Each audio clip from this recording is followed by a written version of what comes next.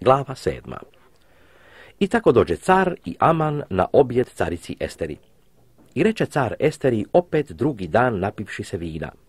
Što želiš, carice Estero, daće ti se.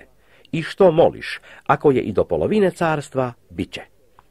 Tada odgovori carica Estera i reče, ako sam našla milost pred tobom, care, i ako je caru ugodno, neka mi se pokloni život moj na moju želju i narod moj na moju molbu. Jer smo prodani ja i moj narod da nas potru, pobiju i istrijebe. Da smo prodani da budemo sluge i sluškinje, mučala bih. Premda neprijatelj ne bi mogao nadoknaditi štete caru. A car Asver progovori i reče carici Esteri, ko je taj i gdje je taj koji se usudio tako činiti?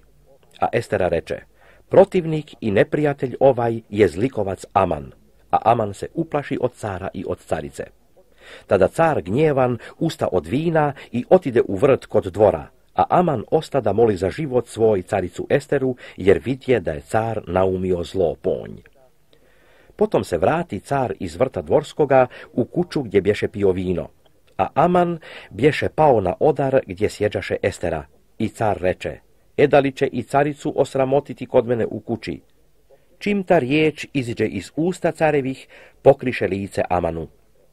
I Harbona, jedan od dvorana carevih, reče, Evo i vješala što je načinio Aman za Mardoheja, koji je govorio dobro po cara, stoje kod kuće Amanove visoka 50 lakata. I reče car, objesite ga na njih. I tako objesiše Amana na vješala, koja bješe pripravio Mardoheju. I gnjev carev utiša se.